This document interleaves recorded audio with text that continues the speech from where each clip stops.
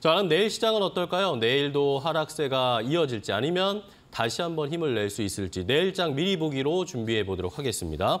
자, 오늘 다울투자증권 영업부의 이성웅 차장과 함께하겠습니다. 차장님 안녕하세요. 네, 안녕하십니까? 네, 반갑습니다. 자, 오늘 시장은 일단은 조금 쉬어가는 숨고르기 하는 양상이었는데 내일 시장은 어떻게 보고 계세요? 음, 우선 뭐 오늘과 뭐 비슷한 분위기는 이어지지 않을까라고 생각이 되고 있는데 참 그동안 이제 코스피도 한 7일, 뭐 코스닥이 6일 가까이 지금 오른 상태에서 어, 오늘 장 초반에는 뭐 미국 시장도 떨어졌고 어, 여러 가지 좀 악재가 많이 쌓였던 상태였거든요. 뭐 부채 협상 지연도 있지만은 이, 미국과 러시아의 뭐 지정학적 리스크 그리고 이 어떻게 보면 미국의 저- 제조업 경기가 저는 이제 어떻게 보면 부채 한대 협상이나 지정학적 리스크보다는 미국의 제조업 지수가 좀 안 좋게 나왔었거든요. 뭐 그러기 때문에 이 우리나라의 산업 구조 특성상 수출 비중이 굉장히 좀 많은 상태에서 오히려 이 미국 제조업 지수가 좀 안 좋게 나왔다는 것 자체가 오늘 시장에서의 차익 실현에 대한 우려감은 좀 많이 좀 컸었거든요. 네.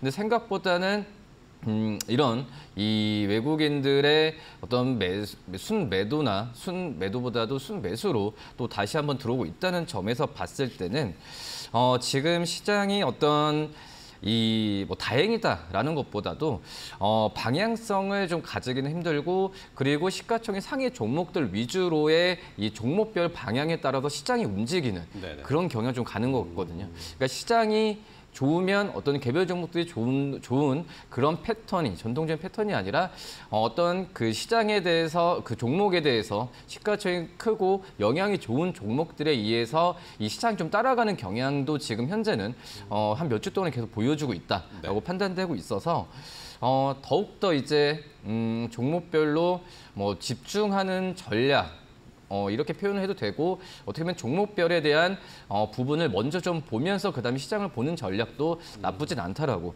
지금 생각이 되고 있고요. 네.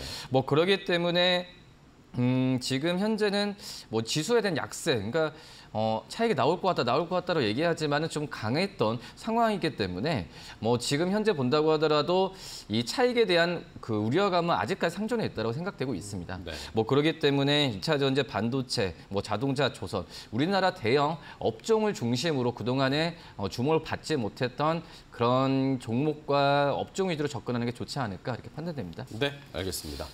자, 이렇게 시장의 상황을 한번 분석을 해봤습니다. 뭐 조정, 뭐 살짝 조정이 나왔지만 오히려 말씀해 주신 것처럼 업종이나 종목들 위주로 플레이를 조금 더 세밀하게 해봐야 될 것 같고요.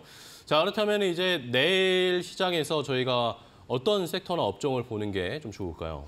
음, 앞서도 말씀드렸다시피 어, 중소형주보다는 이제 대형주 위주로의 어, 어떤 그동안에 어, 주목을 받지 못했던 업종을 관심 있게 봐야 되지 않을까라고 생각이 되고 있는데요.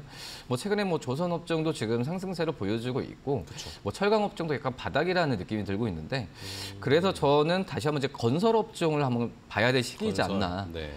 어떻게 보면 2021년 하반기부터 금리 인상에 대한 어, 얘기가 좀 시작이 됐었잖아요. 그리고 이 글로벌 인플레이션으로 인해서 원자재 가격도 상승하면서 이 건설 업종의 주가가 거의 뭐 지금 2년 가까이 맥을 못 쳤던 상황이었는데 뭐 이제는 음, 주택담보 금 대출 뭐 금리도 이제 안정화가 돼가는 상태고 네. 어 그리고 원가율도 어 원가율은 아직까지는 이 그렇게 낮아진다라고 좀 볼 수는 없지만은 그래도 이제 그 전보다는 부담이 많아진 상황은 아니라고 좀 생각이 되고 있고요. 뭐 그러기 때문에 이 바닥에서 어, 어떻게 보면 낙폭 과대인 종목들을 어, 시세가 좋아지는 이 업종 대비해서 잡는 게 오히려 더 힘들 수가 있거든요. 네. 하지만은 이제 건설 업종 같은 경우는 그만큼 많이 좀 기다렸다라고 좀 생각이 되고 있고 뭐 지금 현재 본다고 하더라도 이 업종 건설 업종 안에서 이 삼성 엔지니어링, 그러니까 EPC, 그러니까 해외 쪽에 수주가 들리는 엔지니어링과 그리고 이 PF, 이스포저가 낮은 이 건설 업체, 특히 해외 쪽에서의 비중이 어, 낮, 비중이 높은 그런 그 해외 건설 업체들 외에는 뭐 중소형 건설사나 국내 주택 쪽에서의 비중이 있는 건설 업체들은 주가가 굉장히 좀 안 좋았었거든요. 그래서 오히려 역으로 역발상으로 이 건설 업종 안에서도 국내 주식, 국내 주택 비중이 높고 대형주 위주로 한번 접근하는 전략이 더욱더 이 저평가 어, 매력으로 인해서 더 들어가기 편하지 않을까라고 좀 판단이 좀 되고 있고요. 네. 뭐 그렇기 때문에 저는 지금 건설 업종은 포인트는 그겁니다. 더 이상 떨어지기에는 힘들지 않을까라고 좀 생각이 됩니다. 네, 알겠습니다. 자, 건설주 우리가 조금 이제 소외되어 있던 업종 중에서도 대형주 위주로 좀 살펴보자. 건설주 이제 거의 뭐 바닥은 다 지지할 지지될 대로 지지됐다, 지지됐다라는 어, 판단을 해주셨네요. 자, 그럼 이제 마지막으로 내일 시초가에 공략해 볼 만한 종목도 체크를 해보겠습니다. 어, 우선 앞서서 말씀드렸던 건설 업종, 네. 그러니까 대형주고 국내 주식, 국내 주택 주택. 비중이 어, 비중이 큰 그런 기업은 이제 GS 건설 정도. GS 우리, 건설. 우리나라의 이제 뭐 자이라는 어, 브랜드, 브랜드. 1위력을 좀 갖고 있고요. 그렇죠. 그리고 오늘 내 오늘 좀 추천의 종목은 바로 이제 뭐 실리콘2 말씀을 실리콘2. 드릴 네. 텐데 주가가 어, 한 2주 전부터 주가가 상승세로 보인 이후에 어, 약간 조정이었다 다시 한번 좀 거래량과 함께 좀 반등이 좀 나와주고 있거든요. 네. 뭐 그러기 때문에 지금 현재 시점에서 매수와 매수 들어가기에도 좀 괜찮을 만한 현재 시점이지 않나라고 판단되고 있고 이 실리콘트 같은 경우에는 이 화장품 업체 업종으로 분류되고 있지만은 제조하는 업체는 아니에요. 네. 뭐 우리나라 이 화장품 기업들을 사서 이 해외 수출하는 어떤 유통적인 어, 업종에 좀 분류되는 기업이지만 그래도 이제 화장품 업종에 음, 최근에 좀 2주 전부터 주가 상승률을 보여주면서 실리콘2도 지금 같이 상승세를 보여주고 있는데 그 안에서 이제 종목을 고른다고 한다면은 저는 실리콘2가 어, 그래도 지금 들어가기 좀 편하지 않나라고 좀 생각이 되고 있고요.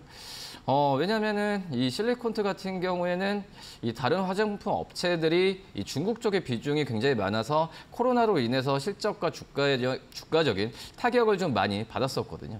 뭐 하지만 실리콘트는 거의 중국향 쪽에서의 매출이 이 없다라고 말씀드릴 수 있겠고 미국 쪽이 거의 뭐 26% 그리고 그다음에 일본 쪽이 어 2위를 차지하고 있는데 그만큼 이제 실리콘투에 대한 어 어떤 이 중국 쪽에서 리스크 부분은 제한적으로 간다라고 말씀드릴 수 있겠고 네. 이 미국 쪽에서 비중이 높다고 말씀을 드렸는데 이제 미국도 어떤 소비 경기가 침체되면서 이 중저가 화장품 쪽에서의 수요도가 굉장히 높아지는 상황이거든요. 뭐 그러기 때문에 이 미국 쪽에서의 이 성장률을 본다고 하더라도 실리콘도 충분히 좀 매력 있는 어, 구간으로 좀 가지 않나라고 네. 좀 생각이 되고 있습니다. 네. 자, 그렇다면 가격 전략까지 체크해 볼까요? 실리콘2. 어, 오늘 지금 현재 5,040, 2.96%좀 반등을 다시 한번 좀 많이, 그 나오는 네네. 구간이라고 볼 수 있겠고요. 어, 그러기 때문에 저는 충분히 이 지점, 충분히 그 매수 관점으로도 들어가기에 좀 무리가 없는 그런 구간이라고 좀 판단이 되고 있고, 1차적으로 한 10% 정도로 해서 이 목표 주가를 5,400원으로 좀 말씀을 드리도록 하겠습니다. 하지만 5,400원에 돌파했을 때는 이 추가적인 더 매수 관점을 말씀을 드리도록 하겠고요. 그리고 손절가는 4,500원 말씀드리도록 하겠습니다. 네, 알겠습니다. 자, 이렇게 실리콘2 화장품 관련 종목을 내일 살펴보자라는 의견을 주셨는데 오늘 뭐 중국 쪽에서의 리스크가 조금 부각이 되면서 중국 관련 종목들 괜찮을까라는 걱정이 좀 있으실 텐데 말씀해 주신 것처럼 실리콘2는 중국 의존도가 거의 제로인 그런 화장품 관련 종목이기 때문에 저희가 한번 잘 지켜볼 만한 종목으로 소개를 해 주셨어요. 자, 이렇게 오늘 이성웅 차장과 내일장 전략도 세워보고 종목 소개도 받아봤습니다. 오늘 좋은 이야기 해주셔서 감사하고 다음 시간에 또 뵙도록 하겠습니다. 고생 많으셨습니다. 네, 감사합니다. 고맙습니다.